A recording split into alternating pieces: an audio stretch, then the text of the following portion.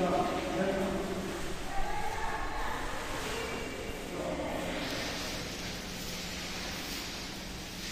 να σας πούμε να τραβήξω αυτά εδώ, τα δουλάκια.